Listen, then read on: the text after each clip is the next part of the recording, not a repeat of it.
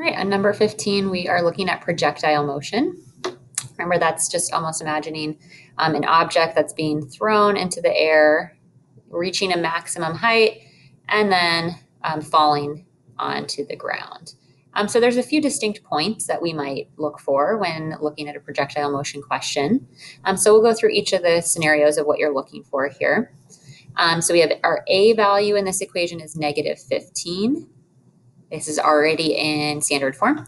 Um, we have our B value that is 30, and we have our C value that is 45.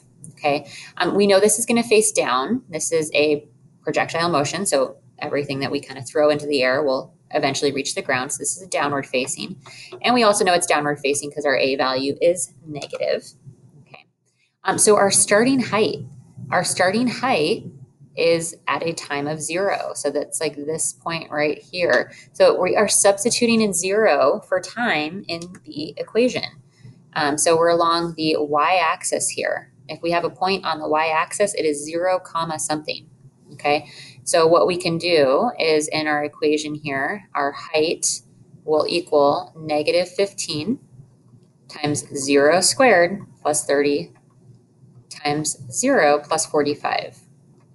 Now, when I plug in 0, these two initial places here will just become 0, and I'm left with 45. So our starting height is going to be 45 feet. Um, we want the time in seconds to reach the maximum height. Okay, remember that is our axis of symmetry. X equals negative b over 2a. That's this line here. This line here um, will help us kind of figure out the time in seconds that it takes. Okay, so um, let's do t equals, because we're not doing x equals. This graph is, uh, instead of x and y, rather it's t and h, time and height. So time in seconds to reach maximum height, let's do time is equal to negative b over 2 times a. Well, we identified b as 30 and a is negative 15. Okay, so if we simplify this, um, it would be t is negative 30. That's our numerator. And our denominator is also negative 30. When we divide these, we get 1. So time in seconds to reach the maximum height, our time is 1. That's our axis of symmetry. Okay, now what we want to figure out is the actual maximum height for that.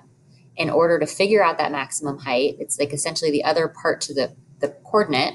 We, we know the first part of the coordinate is 1. We're looking for this other part to our coordinate. And to figure that out, we are just going to plug that into our equation. Um, so it's going to be um, the height is equal to negative 15 times 1 in parentheses squared plus 30 times the 1 plus the 45. Um, you can put this onto a calculator. I'm just going to do it without a calculator for right now. Um, we've got 1 squared, that's going to just be 1 times the 15, that's going to be negative 15. Uh, 30 times 1 is plus 30 plus 45. I'll go ahead and keep simplifying this. If I just add the first two terms here, um, negative 15 plus 30, that's just going to be 15 plus 45 So this is going to be 60, simplify to 60. 60 feet. So I'll put 60 here. And that's our coordinate. That would be this coordinate here if you're imagining the parabola, 1 comma 60. So we actually have two points, two distinct points. Um, this was actually a point here as well, our starting height. That was 0 comma 45. So now we have two points that will help us graph this parabola.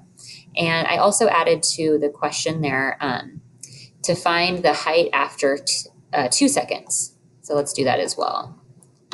Find height at two seconds. So you might be asked for a specific period of time, finding the height for that.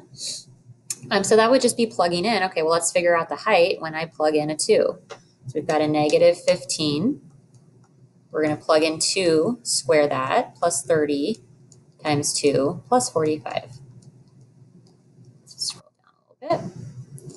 All right, so this is going to be um, negative 15 times 4 plus, we'll multiply this out. This is going to be 60 plus 45.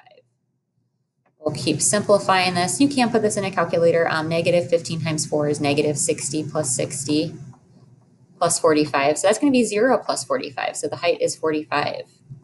So we'll actually have a point at 2 comma 45 as well. So we would have at least three points to graph on this parabola.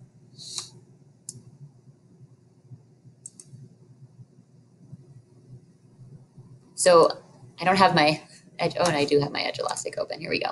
Okay, so on the Edulastic, let's go ahead and graph this. Um, so we would graph one point at 0, 45. So we've got a point at 45. That's our initial height here. I don't have it. Oh, here we go, preview mode.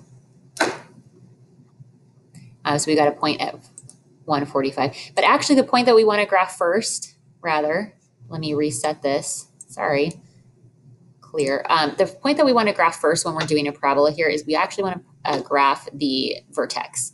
So the vertex is at 60, 1 comma 60. So I'm going to graph that point first, and then I'm going to graph a point to the left of that, which is the 45. So then we've got our downward facing parabola. And then you can also just verify here that, oh yeah, this other point 245 was also accurate.